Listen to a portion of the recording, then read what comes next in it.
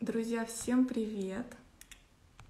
Я сейчас напишу тему урока, не урока, а нашего эфира. А, скажите, пожалуйста, слышно или нет?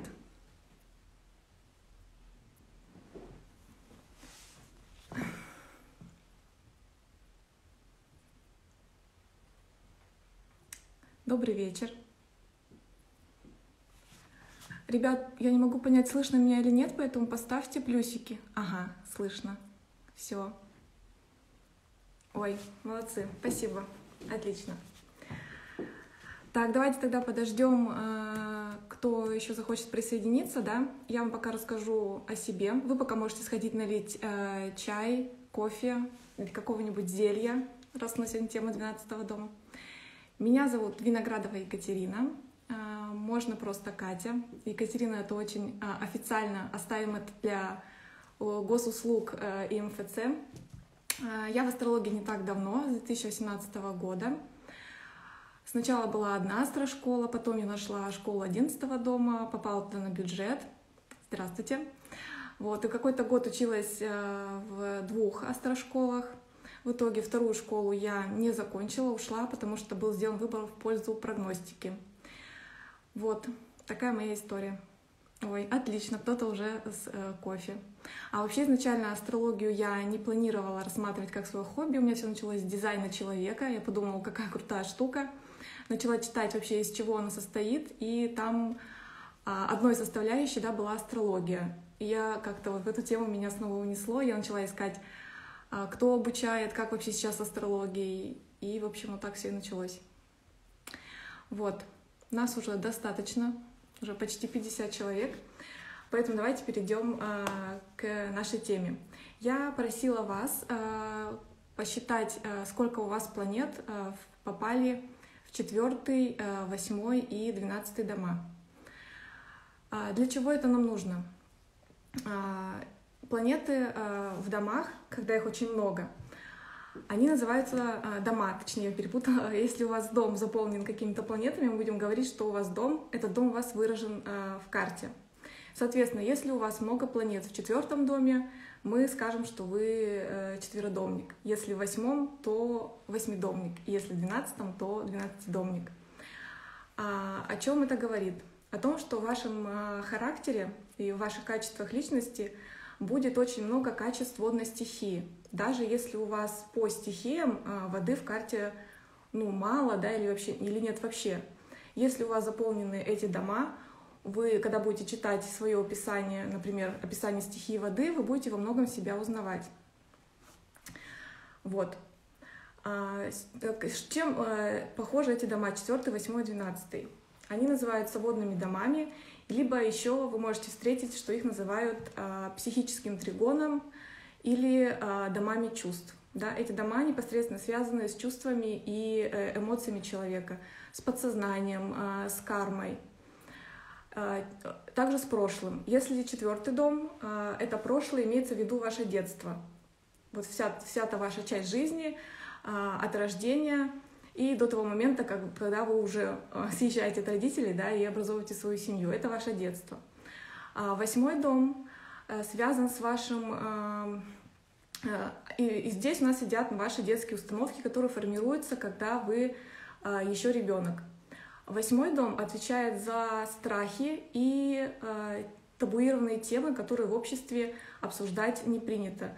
И эти страхи, они у вас связаны с тем, что вы а, растете, живете, получаете какой-то опыт, и, соответственно, вы начинаете чего-то в жизни бояться. Двенадцатый дом связан а, с нашим, считается, что это дом а, очень кармический, он связан с кармой именно ваших прошлых воплощений, да, если мы предположим, что они есть. Если карма четвертого дома — это карма, которая якобы вам прилетает от э, того, как жили ваши непосредственно предки, ваши реальные там прабабушки, прадедушки, то двенадцатый дом — это карма прошлых воплощений. Также здесь формируются наши эм, наши внутренние установки и комплексы, которые вы сами себе, сами себе взращиваете. Да? То есть вас никто извне вам ничего не навязывает, но у вас, например, комплекс самозванца или у вас комплекс, э, вы боитесь выступать на публику. Он, как, он, же, он же появился не сам по себе, он сформировался, потому что вы, например, вы учили в школе, вас несколько раз вызывали к доске, и вы все знаете, все знаете, но как только выходит к доске, у вас ступор, у вас белое пятно, и вы просто, не пони... вы просто забыли вообще, что вы хотели сказать, хотя вы все прекрасно знаете. И после нескольких таких раз у вас сформировался комплекс, что вы боитесь отвечать на публику, да, вам легче, например, написать, чем позвонить. Итак, давайте начнем э, с, э, отдельно про каждый дом, что это значит. Итак, что мы смотрим э, по четвертому дому? По четвертому дому этот дом вообще считается, он, он связан с вашим подсознанием, и он в карте самый глубокий. Да? То есть если вы построите карту, вы начнете спускаться первый, второй, третий, четвертый дом самая глубокая точка, и потом будете подниматься уже наверх, пятый, шестой и так далее. Так вот, Э, эта глубина связана с тем, что этот дом э, прежде всего связан с, с вашим родом и с вашей генетикой. Например, если мы будем рассматривать сферу вашего здоровья и увидим, что у вас много связей четвертого дома с шестым, да, шестой дом — это дом здоровья, четвертый дом — генетика, мы уже поставим для себя плюсик, что, возможно, у вас есть риск развития тех же заболеваний, которые, допустим, были э, у, кого-то из вашей родни. Также четвертый дом, и это самая интересная тема при анализе детского гороскопа, потому что этот четвертый дом показывает э, ваши установки, э, родительские, не ваши родительские установки и сценарии, которые вы неосознанно впитываете, когда живете в семье своих родителей. И глядя на карту ребенка, на его куспи четвертого дома и на планету в четвертом доме, вы можете предположить, а, как вы влияете на вашего ребенка и что он а, от вас а, может э, заимствовать. Например, возьмем пример Куспи четвертого дома в весах. И родители воспитывали ребенка так, что нельзя выносить из избы ссор. Все твои проблемы, они должны оставаться за закрытыми дверями. Для снаружи картинка должна быть красивая. И потом это приводит к тому, что, допустим, допустим, это э, ребенок, девочка, да, она образовывает свою семью, ее при этом что-то не устраивает, у нее проблемы с мужем, но она до последнего старается делать так, чтобы для общества была красивая картинка. Она тянет с разводом, она не рассказывает родителям, не рассказывает подругам о своих проблемах, потому что вот она так, э, ее так научили, что все, что, все, что негативно, неприятное, оно должно оставаться а, за дверями а, квартиры. Естественно, потом, когда вы вырастаете, какие-то из этих установок вы отбрасываете как ненужные, да, вы, вы смотрите на это и думаете, я не хочу так, как было у моих родителей, у меня будет по-другому. И поэтому, если у вашего ребенка мы видим в карте или у вас, что у вас в четвертом доме очень много планет, вы тот самый человек, которому будет сложнее, чем человеку без планет в четвертом доме, как-то вот от этой родительской истории э, отойти, да, вы, вы будете рассчитывать, например, э, что вы обязаны родителям помогать. Другой человек может считать, я могу помочь, но я не обязан. А четверодомник будет воспринимать это как свой долг, что он должен помочь. Если он не поможет, это значит воспринимается как некое предательство. Поэтому, если у вас э, дети, да, если у вас дети вот с таким четвертым загруженным домом, э, вам нужно очень внимательно а, обращать на то, что вы ребенку транслируете. А, что дальше? Напишите, пожалуйста, вам все понятно или мне можно помедленнее говорить? Мне кажется, я просто очень быстро говорю, и вы не очень понимаете. Вот пока на этом этапе про э, четвертый дом все понятно?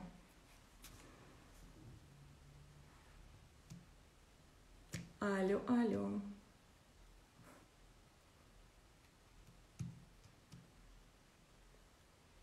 Какой-нибудь плюсик, смайлик.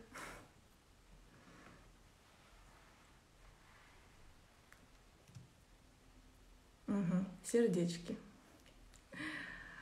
В общем, я, друзья, надеюсь, что понятно. Если непонятно, вы не стесняйтесь э, спрашивать, да, я остановлюсь и э, отвечу вам на вопрос. Так, давайте дальше. После установок что идет?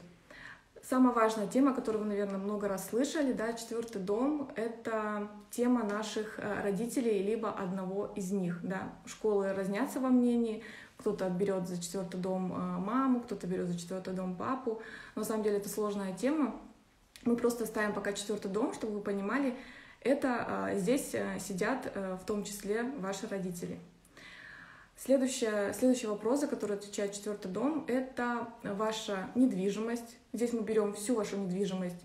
Квартиры, дачные участки, то есть все недвижимое имущество. Все ваши квартиры, а, пентхаузы и так далее. Они сидят здесь. Если вернуться на более бытовой план, то четвертый дом опишет, как вы видите свой комфортный дом. То есть что должно у вас быть дома, чтобы вы приходили туда и вы чувствовали себя комфортно. Мы можем описать, э, например, какие цвета вы будете предпочитать. Это совместно мы смотрим э, описание интерьера, да, не только по четвертому дому, но еще и по Луне. Э, то есть планеты в четвертом доме опишут, что вам нужно создать или что вам нужно иметь дома в качестве интерьера, чтобы вы приходили и чувствовали себя комфортно. Также мы можем описать, что находится рядом с тем местом, где вы живете. Например, у вас в четвертом доме Марс, и вы живете недалеко от пожарной части или от, э, уча или от э, участка полиции, или у вас, например, дом из красного кирпича, да, то есть мы пишем все, что касается Марса. Если у вас там Нептун, вполне возможно, что у вас из окна видна река, или название вашей улицы, э, название вашей улицы, например, как-то связано с морем или названо именем капитана, то есть что-то такое. Поэтому, например, когда вы у вас есть план куда-то переехать, вы не знаете куда, у вас есть несколько вариантов, вы можете посмотреть на ваш четвертый дом и понять, какая все-таки из э, квартир, например, той местности больше подходит э, к вашей карте. Не забудьте учесть э, также Луну. Также четвертый дом считается, так как это считается нашим началом, да, нашим детством, он же считается, что вы проходите весь этот путь, и вы снова возвращаетесь в эту точку четвертого дома. Поэтому четвертый дом а, связан э, с местом вашего захоронения. Это не очень приятная тема, и не многие ее любят, но имейте в виду, что чтобы посмотреть, э, если вы будете составлять завещание и захотите описать, как вы хотите, чтобы вас похоронили и где, мы тоже это посмотрим по э, четвертому дому. А, например, я недавно смотрела карту, когда готовилась к этому эфиру эм, президента Джона Кеннеди, и у него в четвертом доме стоит Уран. И в, месте, в, в том месте, где он похоронен, да, на этом кладбище, сразу же с этим кладбищем на, находится аэропорт. Да, аэропорт это как раз э, тема урана. Вот. А, еще одно важное значение четвертого дома, я забыла вам рассказать, это особенно если у вас есть там планеты. Планеты в четвертом доме — это те планеты, которые мы у человека увидим только тогда, когда мы очень хорошо его будем знать, либо мы вместе с этим человеком будет какое-то, будем какое-то время жить. То есть, например, если у вас в четвертом доме Марс, то вы этот Марс покажете человеку только в моменты, когда он станет для вас а, близким человеком, либо вы начнете с этим человеком жить. Допустим, где-то в незнакомой компании я могу на вас посмотреть и никогда не подумать. Вы мне, допустим, покажетесь очень сдержанным человеком, а, очень таким воспитанным. А, а, например, у вас в четвертом доме Марс, и если мне скажут, что вы дома, когда разозлитесь, можете там бросать посуду или начинать двигать мебель от злости, да, я не поверю, скажу, да ну нет, да никогда. Потому что мне ваш четвертый Мар, э, в четвертом доме, который Марс у вас стоит, да, я его не увижу, пока я вас не узнаю достаточно хорошо или не проживу с вами какое-то время вместе. Поэтому, э, например, у вас э, вы знакомитесь с мужчиной, вы можете построить его карту, если там есть планеты в четвертом доме, а, будьте уверены, что вот именно вот эти планеты он вам продемонстрирует в, в большей степени только тогда, когда вы, например, будете уже вместе жить, и вы обнаружите либо приятный, а, либо неприятный сюрприз. Если планет в доме нет, то вы можете посмотреть знак на Куспиде четвертого дома и его управители. Это будет э, то же самое. Так, дальше. Также четвертый дом, тоже очень интересная тема, а, он описывает последний период а, вашей жизни, то есть какой он будет. Сами понимаете, последний период жизни у каждого а, случится в разном возрасте, да, допустим, если человек умер 80 лет, то его последняя часть жизни будет описана годами с 70 лет до 80. Если это ранняя смерть, допустим, там, в 40 лет, то последний период жизни будет описываться, ну, примерно там, с 35 до 40. То есть по анализу этого дома можем понять, чем вы будете заниматься и как будет проходить, активно или неактивно, ваша последняя часть жизни. Допустим, у вас четвер... э, куспит четвертого дома попал в рака, и вы никогда до этого не интересовались э, садом, огородом, э, цветами, готовкой, вам вообще это никогда не было интересно. Но потом, со временем, вы начинаете вдруг интересоваться цветами, вы покупаете себе дач, дачный участок, то есть в вашей жизни э, начинается, начинается такая эра рака, да, то все, что связано со знаком рака, мы посмотрим потом, куда попала Луна, какие у нее аспекты, точно так же опишем. Если, например, у вас куспи четвертого дома в Деве, вы можете только на старости лет вдруг понять, что ну все, там дети выросли, внуки выросли, э, заведу-ка я себе э, кошечку или собачку, да, потому что дева у нас отвечает за домашних животных. И, допустим, можем предположить, что у человека с таким куспидом животное может появиться уже в очень-очень э, таком возрасте, уже ближе к пенсии. Вот. Следующая тема. А, и еще четвертый дом, помимо а, дополнительно к Луне, он покажет, насколько вы м, вообще адаптивный человек, насколько вы подстраиваетесь э, к изменениям, как относитесь к переезду, легко ли вам собрать чемодан и уехать, да, либо вы будете до последнего э, противиться переменам. То есть помимо э, знака и дома Луны, всегда еще смотрите на, на тему четвер... на сам четвертый дом. Это касается вообще любой темы, то есть неважно, что вы рассматриваете, Всегда, если вы рассматриваете какую-то планету, вы после этого смотрите на ее дом. Если вы рассматриваете Солнце, вы всегда смотрите и на пятый дом тоже. Поэтому если вы проводите, неважно, какую тему вы берете, недвижимость, э, дети, вы всегда смотрите еще и дом. Насчет детей. Считается в некоторых школах, что четвертый дом отвечает за зачатие, а пятый дом уже за вынашивание. Но не все школы с этим согласны, я, вам просто, я просто знаю, что такая точка зрения существует, поэтому я вам ее рассказала. Например, бывает такое, что у человека четвертый дом очень напряженный, там очень много каких-то планет, например, Плутон, Сатурн, очень много напряженных аспектов. И у человека проблемы э, с зачатием. Но пятый дом прекрасный, да, то есть там э, хорошие планеты, там, там нет напряженных аспектов. И у человека проблема зачать он с трудом это делает, но при этом он вынашивает очень легко, да, у него нет, нет каких-то проблем, э, у него нет токсикозов, он бегает до девятого месяца, и все у него прекрасно. И наоборот, да, у нас может быть прекрасный четвертый дом, но пятый с такими сложностями. И вы, вам, для вас не проблема забеременеть, но для вас проблема выносить этого ребенка. То есть, как бы вот четвертый дом еще можно посматривать в этом смысле, когда мы делаем э, а, анализ, например, почему нет, э, нет беременности или прогнозируем, а, когда у человека это случится. Так, по четвертому дому это все, что я вам хотела сказать. Следующий э, водный дом это восьмой. И сразу всегда про восьмой, когда люди слышат про восьмой дом, э, первое, что приходит на ум, это то, что это дом э, кризисов, э, стрессов э, и разных сложных ситуаций. Это действительно так, это одно из его значений, а потому что восьмой дом, мы его символически соотносим а, с планетой Плутон. Да, это его сигнификатор в любой карте. То есть неважно, куда и в какой знак у вас попал куспит восьмого дома, это будет дополнительная информация. Сигнификатором его всегда а, будет товарищ Плутон. Поэтому кризисы и сложные ситуации, они вас здесь ждут.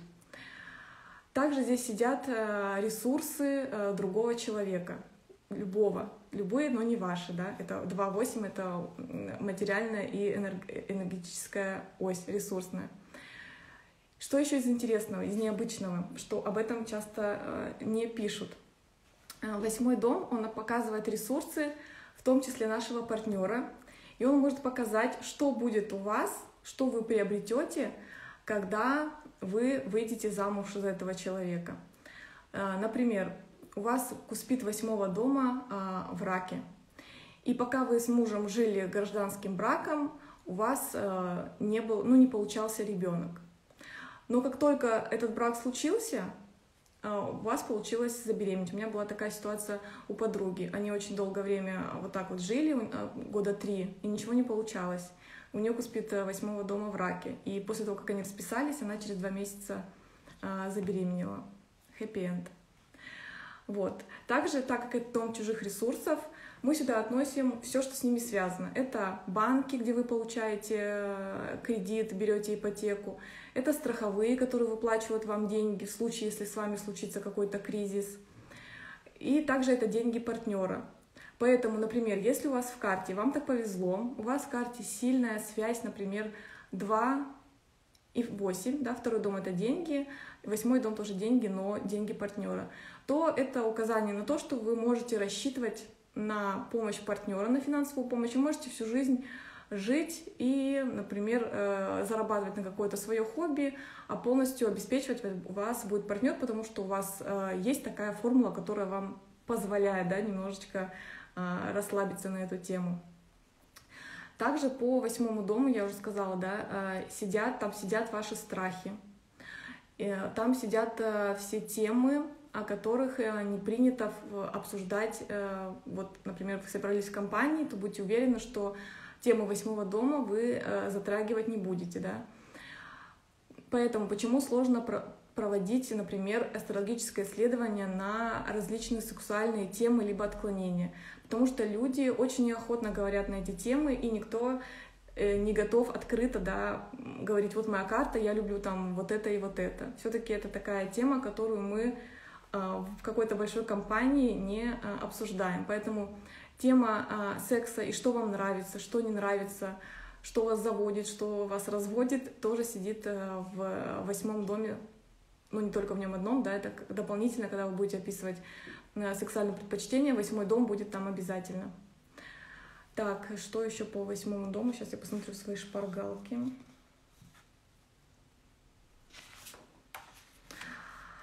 А, вот еще одна интересная тема восьмого дома, но печальная.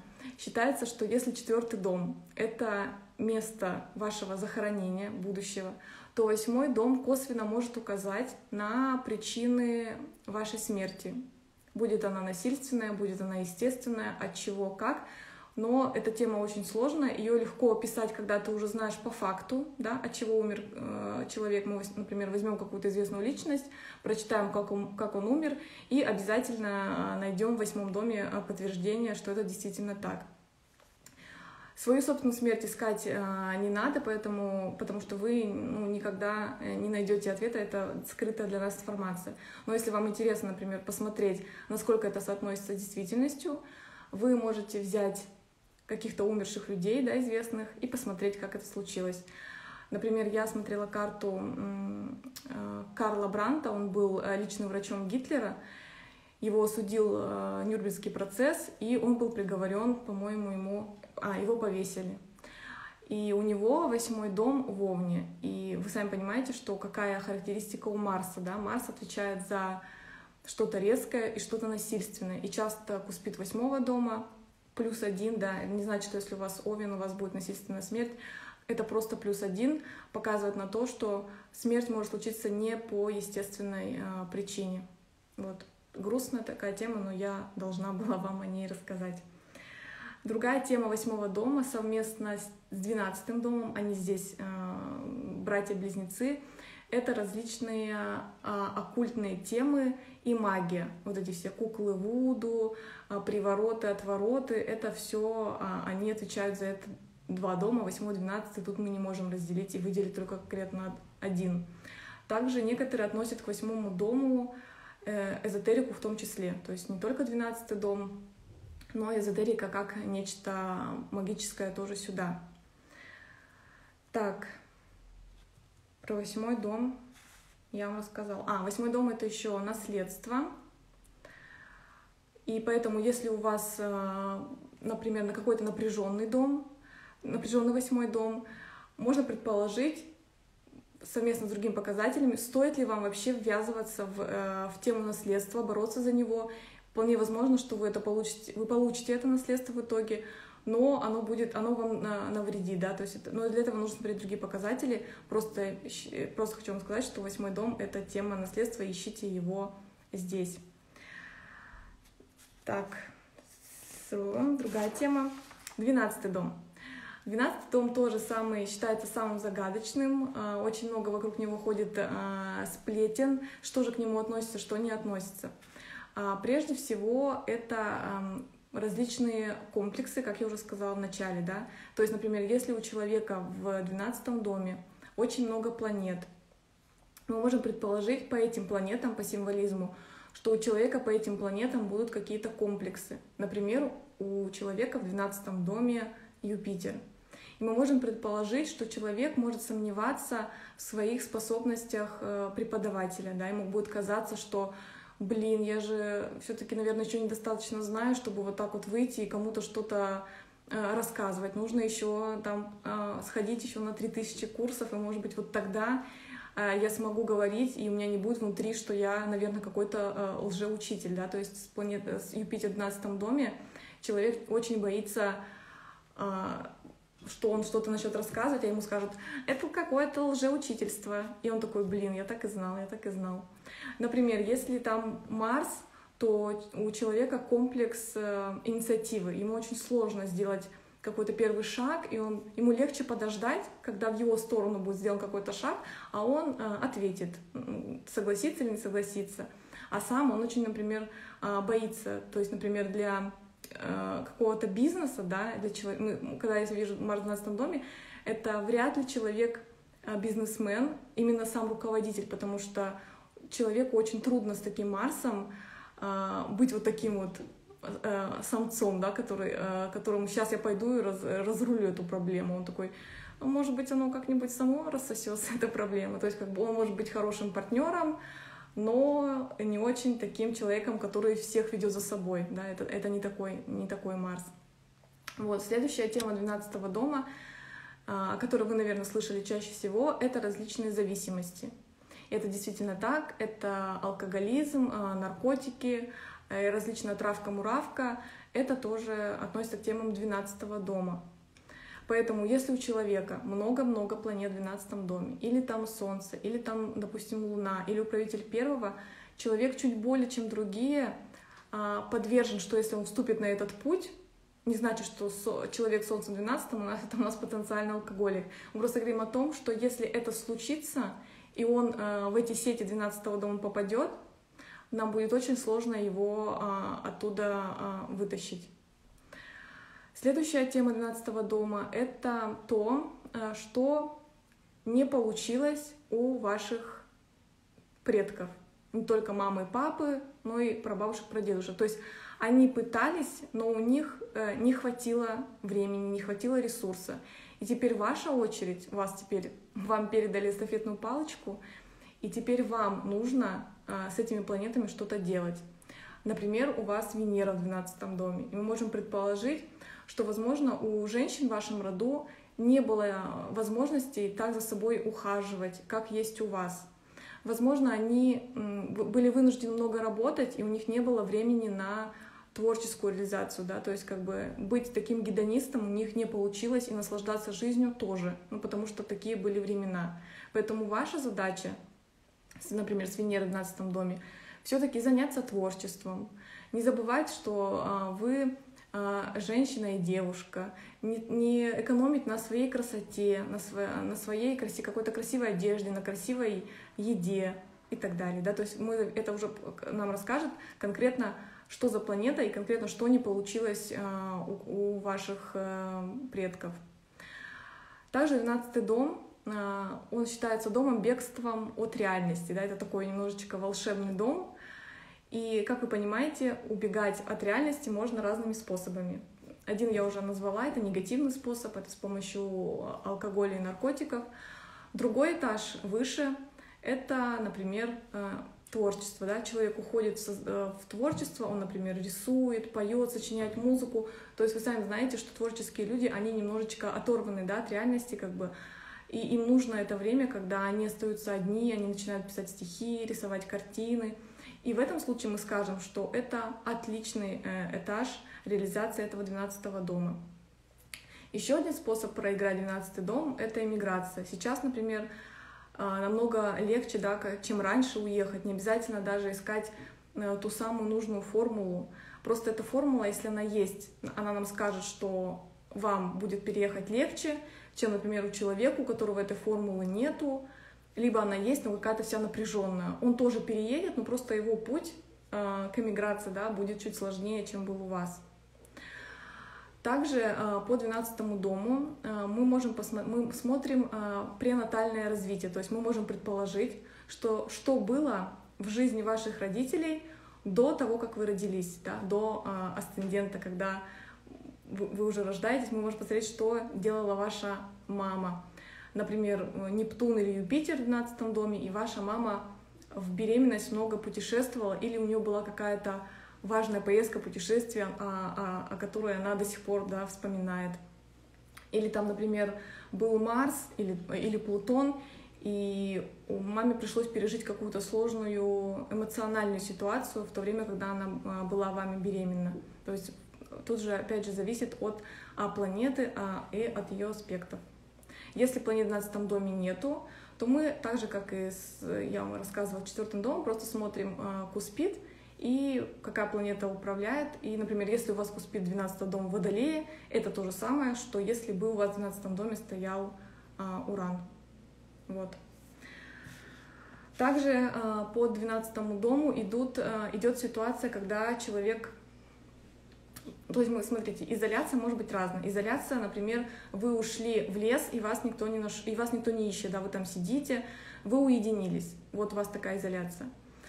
Изоляция может быть внешняя, например, э, инвалидность, это тоже относится к 12 дому. Поэтому если у человека шестой дом здоровья, как-то связан с 12 особенно напряженными аспектами, там нужна очень серьезная формула, чтобы это действительно случилось то мы а, обнаружим, что у человека есть, например, а, у него поставлена какая-то степень инвалидности.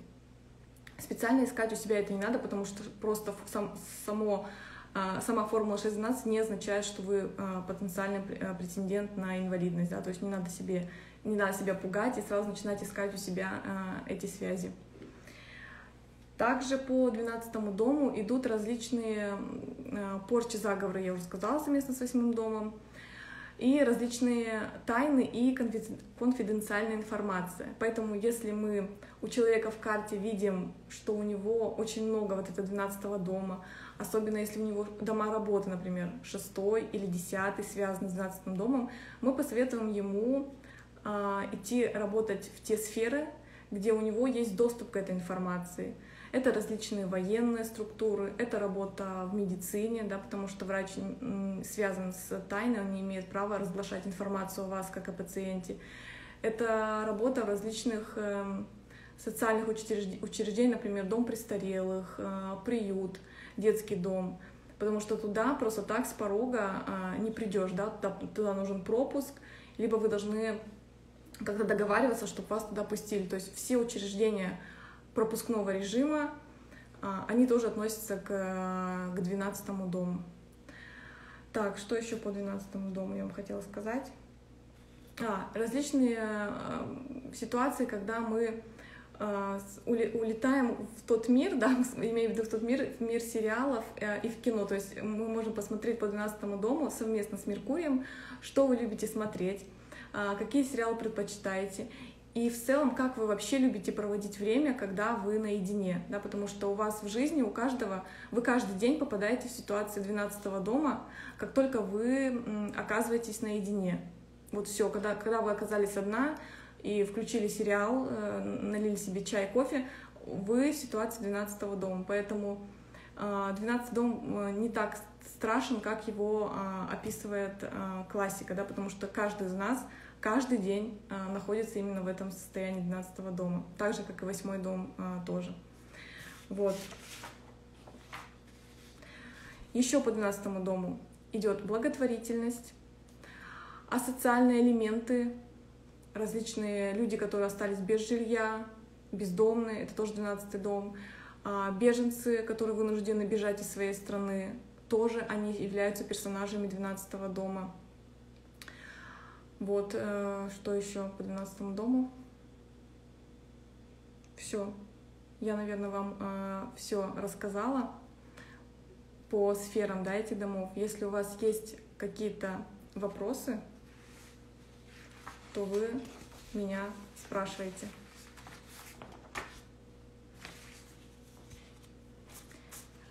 Я постаралась вам рассказать очень быстро, чтобы мы с вами не а, тратили время на косвенные темы, потому что задача была рассказать вам именно про эти сферы, чтобы вы понимали, что и к какому дому относится, и не путались, да, не искали в четвертом доме деньги, а, а в восьмом доме э, иммиграцию.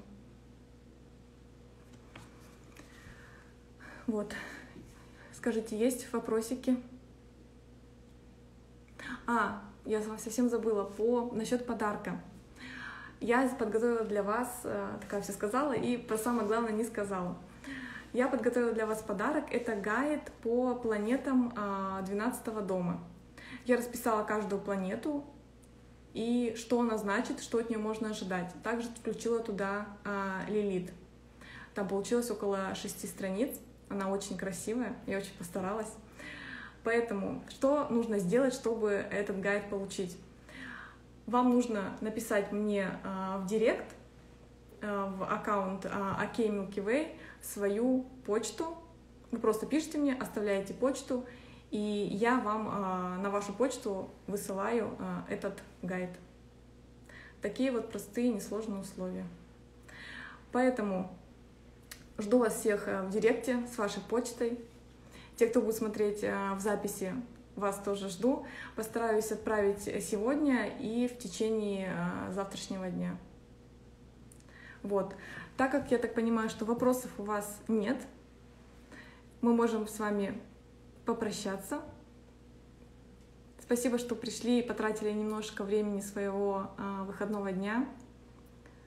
В общем, была рада провести эти несколько минут с вами. Пока!